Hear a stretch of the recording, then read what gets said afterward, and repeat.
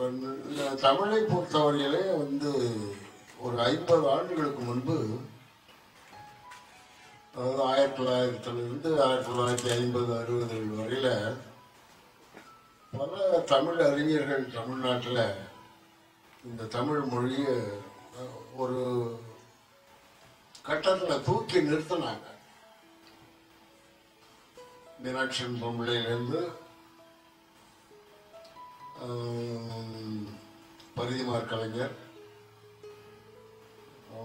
பிறகு ராபி சேது பிள்ளை அப்பாதுரையார் ஆஹ், பாவாணர் பெரிய மிகப்பெரிய தமிழறிஞர்கள் இவங்கெல்லாம். இவங்க இந்த தமிழை வந்து ஒரு கட்டத்தில் தூக்கி நிறுத்தினாங்க. ஒரு உயரத்தில் தூக்கி நிறுத்தினாங்க. இவருடைய நூல்கள் எல்லாம் படிச்சு தான் நாங்கள் இந்த தமிழினுடைய பக்கமே வந்தோம். அறுபது எழுபதுகளுக்கு பிறகு பார்த்தீங்கன்னா அந்த வளர்ச்சி படிப்படி படிப்படியாக குறைஞ்சி இன்றைக்கு தமிழனுடைய எதிர்காலமே ஒரு கேள்விக்குறியாக மாறுகின்ற அளவுக்கு வந்துட்டுது. இன்னைக்கு இந்த அடுத்த தலைமுறைக்கு நாங்க இப்ப என்னுடைய தலைமுறையெல்லாம் வந்து ஓரளவுக்கு அந்த தமிழ் பற்றோட நாங்க வளர்ந்தோம். இன்றைக்கு வர்ற அடுத்த தலைமுறை எங்களுக்கு அடுத்த தலைமுறை மாதிரி வரல. ஆனா இப்போ ஒரு எழுச்சி ஒண்ணு தோன்றுது வருது. அது அது பல்வேறு இடைஞ்சல்களில் தமிழர்கள் தள்ளப்பட்டது அடிப்படையில் அந்த ஒரு எழுச்சி வந்திருக்குன்னு நான் நினைக்கிறேன். இப்போ தமிழ் தமிழ் மொழியை பொறுத்தவரையில் வந்து ஒரு இன்றைக்கு ரெண்டாயிரம் ஆண்டுகளுக்கு முன்பு தான் இந்த மொழி தோன்றியது என்று வந்து ஒரு வரலாறு எழுதி வச்சிருக்காங்க. இப்போ இந்திய வரலாற்றை எழுதினவர்களும் தமிழ்நாட்டு வரலாற்றை எழுதினவர்களும் இந்தியர்களும் இல்லை தமிழர்களும் இல்லை ஆங்கிலேயர்கள் தான் எழுதினாங்க. ஆங்கிலேயர்கள் எழுதின வரலாறுல பாதி பிழை இருக்கு பாதி கற்பனை எழுதியிருக்காங்க. அது வந்து அவங்க எழுதின வரலாறு வந்து ஒரு நிற அடிப்படையில் எழுதியிருக்காங்க. எப்படியும் ஒரு அவங்க வெள்ளைக்காரவங்க நாம தான் கருப்பு இனத்தவங்க. கற்பர்கள்லாம் உயர்ந்த இனம் அவங்களுடைய மொழியெல்லாம் சிறந்த மொழி. அவங்க ரொம்ப பழங்காலத்து நாகரிக மக்கள். அப்படிலாம் அவங்க சொல்ல மாட்டாங்க. அவங்க அவங்களுடைய பெருமைகளை தான் சொல்லுவாங்க. அப்படித்தான் இந்திய வரலாறு எழுதப்பட்டிருக்கு. தமிழக வரலாறு அப்படித்தான் அதை ஒட்டி தான் எழுதியிருக்காங்க. இந்திய வரலாறே உங்களுக்கு வந்து ஆரியர்கள் இந்தியாவுக்கு வந்ததுக்கு பிறகு தான் தொடங்குறாங்க. கிமு ஆயிரத்தி ஐநூறுல. அதுக்கு முன்னாடி சிந்துவெளி நாகரிகம் இருக்கு இங்கே தாமிரபரணி வைகாட்டு நாகரிகம் இருக்கு ஆதிச்சநல்லூர் நாகரிகம் இருக்கு. இதை பற்றிலாம் அவங்க இல்லை இடையில புகுந்து ஆயிரத்தி ஐநூறு ஆண்டுகளுக்கு கிமுல ஒரு இந்திய வரலாறுன்னு ஒன்றை தொகுத்து எழுதுறாங்க. அது வந்து ஒரு தலைகள் இல்லாமல் வாழல் இல்லாமல் இருக்குது. ஆகவே நாங்கள் என்ன பொறுத்தவரை நான் அந்த ஆங்கிலேயர்கள் எழுதிய வரலாறுலாம் நான் ஏற்றுக்கொள்வதும் இல்லை. அதை நான் பொருட்படுத்துறது இல்லை. தமிழருடைய வரலாறு எங்கேயோ பல ஆயிரம் ஆண்டுகளுக்கு முன்பு போகுது. அந்த செய்தியை வந்து வெளியில் கொண்டுட்டு வர்றதுக்கு பல தடைகள் இருக்கு இடை இடை இடைஞ்சல்கள் இருக்கு இடையூறுகள் இருக்கு. இது தனிப்பட்ட ஆட்களாலும் செய்யப்படுது அரசாங்கத்தாலும் செய்யப்படுது.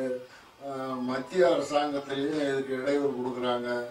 இவ்வளவு இடையூறுகளையும் தாண்டி இந்த தமிழை வெளியில் கொண்டுட்டு வந்து அதை தூக்கி நிறுத்துறது என்பது மிகப்பெரிய ஒரு கடினமான பணியை இன்னைக்கு இருக்கு. இந்த சூழ்நிலையில தான் நான் வந்து இன்றைக்கு ரெண்டாயிரத்தி ஐநூறு ஆண்டுகளுக்கு முன்பு தான் தமிழருடைய வரலாறே தொடங்குது என்று பலரும் எழுதி வச்சிருக்காங்க. இதை நான் மறுத்து தமிழருடைய வரலாறு இன்னும் பல ஆண்டு ஆயிரம் ஆண்டுகள் முன்னோக்கி போகுது. இப்படி வந்து வரலாற்றை குறைச்சி மதிப்பிடாதீங்க என்ற அளவில் தான் இப்போ என்னுடைய நூல்களை நான் எழுதியிருக்கேன். இதில் அடிப்படையில் வந்து எனக்கு அந்த எப்போ ஹீப்ரோன்னு கேள்விப்பட்டிருப்பீங்க நீங்கள் ஒரு மொழி. அந்த மொழியை படிக்கிறதுக்கு ஒரு வாய்ப்பு எனக்கு கிடைச்சது அந்த மொழி ஏறக்குறைய பார்த்தீங்கன்னா அந்த பழைய காலத்து சுமேரியன் பாபிலோனியன் அரபு எகிப்தியம் இந்த மாதிரி மொழிகளோட தொடர்புடையது இப்போ. தமிழ் எப்படி தென்னக மொழிகளோட ஒரு தொடர்பு இருக்குதோ அந்த மாதிரி அந்த ஹீப்ரு மொழி என்பது இந்த பழைய வரலாற்று காலத்துக்கு முற்பட்ட மொழிகளோட ஒரு தொடர்பு இருக்கு. இப்போ நான் அந்த எபிரேய மொழி ஹீப்ரு மொழி படித்து அதனுடைய இலக்கியங்களை எல்லாம் ஓரளவுக்கு ஆய்வு செய்யும்போது ஆயிரக்கணக்கான தமிழ் சொற்கள் அந்த எபிரேய மொழியில் இருக்கு. இது எப்படி இவ்வளவு சொற்கள் வந்து ஒரு வணிகம் அவங்களுக்கும் தமிழ்நாட்டுக்கும் நடந்த வணிக தொடர்பில் இவ்வளவு சொற்கள்லாம் போயிருக்கிறதுக்கு வாய்ப்பே இல்லை.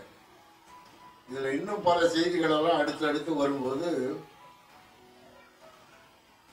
அந்த தோரா என்று சொல்லக்கூடிய அந்த விவிலிய பைபிளில் உள்ள பல செய்திகள் வந்து இந்த நூலில் கூட நான் அதை குறிப்பிட்டு எழுதியிருக்கிறேன் இந்த சுமேரிய தமிழர்கள் இந்த நூலில். கைம் ராபின் என்ற ஒரு ஆஹ், எபிரேய மொழி பேராசிரியர் டெல்லவியூ பல்கலைக்கழகத்தில் பணியாற்றினவர் ஒரு கட்டுரை எழுதியிருக்கார். அதில் கிமு தொள்ளாயிரத்தி ஐம்பதுல சாலமன் என்ற ஒரு மன்னன் வாழ்ந்த செய்தி உங்களுக்கு எல்லாம் தெரியும். அவன் எழுதின பாடல்கள் வந்து அகத்துறை சார்ந்த பாடல்கள் பைபிளில் இருக்கு. அதை சாங் சொல்லுவாங்க. தமிழில் சங்கீதம்னு வரும். அந்த கெய்ம் ராபின் என்ற எபிரேய மொழி அறிஞர் ஆய்வு செய்து இந்த எபிரேய மொழியினுடைய சங்கீதம் என்ற பகுதியில் குறுந்தொகை கலித்தொகை அகனானூறு ஆகிய இலக்கியங்களுடைய பாடல்கள் அப்படியே இடம்பெற்றிருக்குன்னு எழுதுறாரு. பாருங்க எவ்வளவு ஒரு வியப்பான செய்தி. இதையெல்லாம் இதை எல்லாம் பார்க்கும்போது இந்த எபிரேய மொழிக்கும் தமிழுக்கும் உள்ள தொடர்புகள் மிக ஆழமா இருக்கிறது என்ற அடிப்படையில் தான் நாங்கள் ஆய்வு மேற்கொள்ளும்போது அதன் வழியில் சுமேரிய மொழி பாபிலோனிய மொழி இந்த மொழிகளில் உள்ள அந்த அந்த டெக்ஸ்ட் அந்த அவங்களுடைய எழுதி மொழிபெயர்ப்பதெல்லாம் படிக்கும்போது ஏராளமான தமிழ் சொற்கள் அந்த மொழியில் இருக்கு.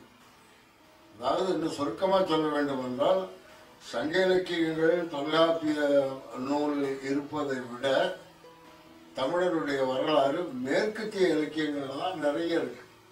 இதை தான் ஆய்வு செய்து இது எப்படி தமிழோட தொடர்புடையது என்பதை வெளியில கொண்டு வர்றதுக்கான ஆய்வுகள் பண்ணோம்.